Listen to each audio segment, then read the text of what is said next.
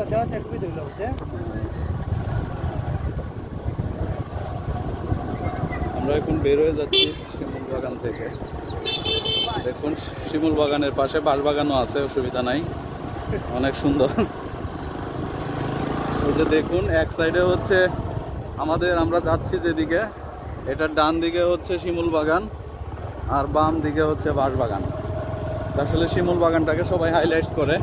আমরা এই বাঁশবাগানটাকেও হাইলাইটস করলাম। বাঁশবাগানও দেখতে পারবেন। আর আসলে সুন্দর চোখ যদি থাকে, মানুষের মন যদি সুন্দর থাকে, তাহলে যে কোনো জায়গায় গেলেই সৌন্দর্য খুঁজে পাবে। আমরা এমনটাই বিশ্বাস করি। আর এই সৌন্দর্যগুলো আসলে সুখ সমৃদ্ধি বিভিন্ন অবস্থা পরিস্থিতির উপরে নির্ভর করে। সেক্ষেত্রে পেশা, আর্থিক স্বচ্ছতা, ভৌগোলিক অবস্থান সবগুলোই। তো আসলে আমরা এগুলো বিভিন্ন জনে বিভিন্ন অ্যাঙ্গেল থেকে চিন্তা করে থাকি। যেমন কেউ আসলে অনেক কিছু খুঁজে পায়, আবার কেউ কিছুই খুঁজে পায় না। তো বিষয়টা হচ্ছে এরকম। তো বাঁশবাগানের যে সৌন্দর্য, আমি আবার এটা উল্লেখ করছি। এটাও কিন্তু আসলে কম নয়। দেখুন, যথেষ্ট পরিপাটিও রয়েছে। হয়তো পর্যটক এখানে আসেন না, বিদায় এই জায়গাগুলিতে বিচরণ হয় না। আর যদি আসেন, তাহলে কিন্তু খারাপ হবে না। তো তার পাশে একটি নার্সারিও আমরা দেখতে পাচ্ছি। নার্সারি রয়েছে। দেখুন, এই সেই কাঙ্ক্ষিত শিমুল বাগান। এখানেও সারিবদ্ধভাবেই গাছগুলো রয়েছে। আপনাদেরকে যে বিষয়টি এর আগের ভিডিওতে আমরা দেখিয়েছিলাম যে সারিবদ্ধভাবে সবগুলোই রোপণ করা হয়েছে।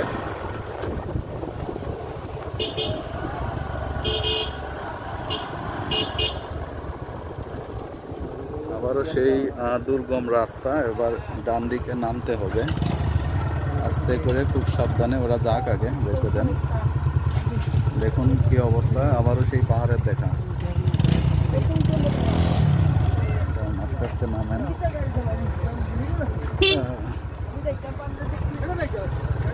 অনেকদিন পর সিলেটের ফ্লেভার পেলাম। অর্থাৎ এখানে অল্প কিছু সংখ্যক পর্যটক আমরা পেয়েছি, যাদের বেশিরভাগই ল্যাঙ্গুয়েজটাতে মনে হচ্ছে সিলেট অঞ্চলে, সুনামগঞ্জ অঞ্চলে। তো সুনামগঞ্জ তো আমাদের সঙ্গে অনেকটা মিল রয়েছে।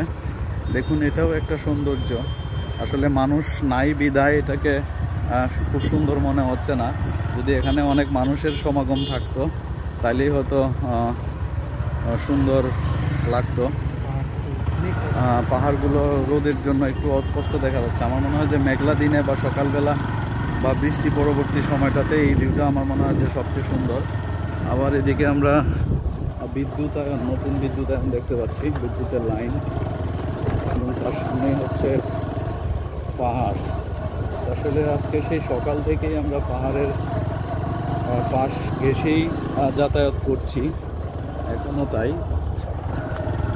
দেখুন। ভালো লাগবে। সৌন্দর্য উপভোগ করতে হলে সুন্দর মন প্রয়োজন। এটাই হচ্ছে বড় কথা।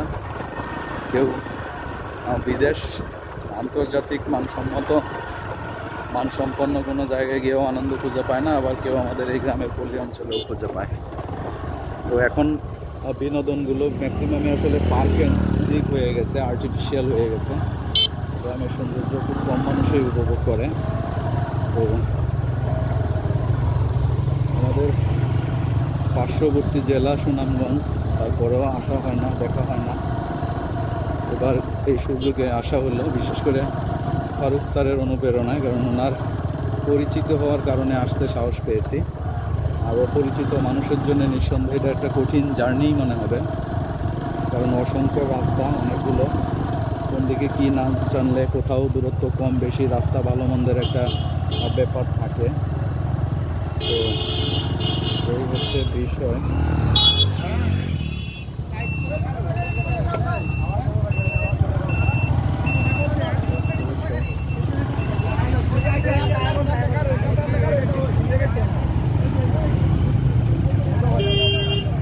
আমরা এখন ফিরছি ফেরার পথে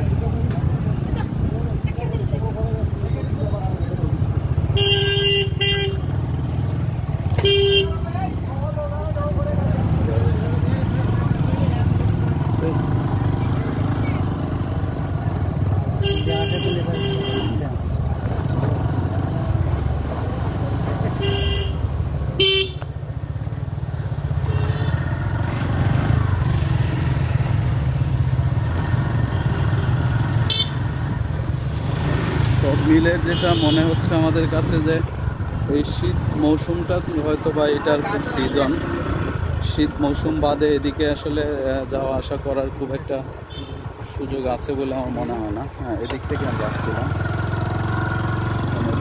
হবে।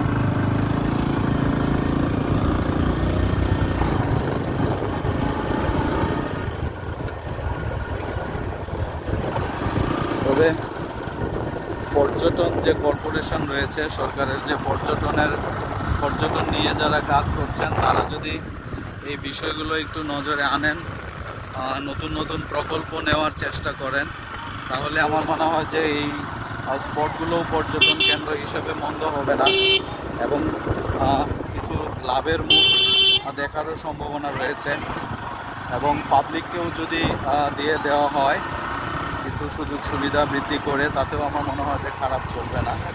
ওভারঅল সব মিলে উপভোগ করার মতো জায়গা এগুলো।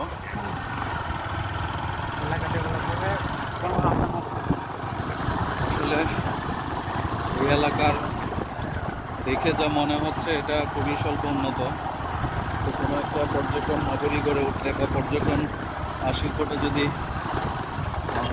লাভজনক হয়, তাহলে আশেপাশের মানুষগুলোরও লাভজনক হওয়ার একটা সম্ভাবনা থাকে।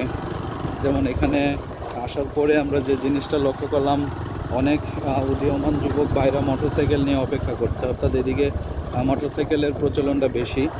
একশো দুশো তিনশো টাকা ভাড়ার বিনিময়ে এদিক ওদিক যাওয়ার একটা সুযোগ রয়েছে।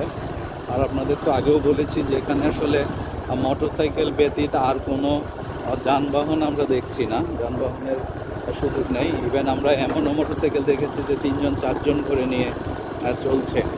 অর্থাৎ অবস্থায় এটাই মনে হচ্ছে যে এখানে মোটরসাইকেলই একমাত্র যাতায়াতের মাধ্যম। তো বিশেষ করে এই অনুন্নত রাস্তাঘাটের জন্যই হয়তোবা। দেখুন আমাদের বাম দিকে আবারও সেই পাহাড়।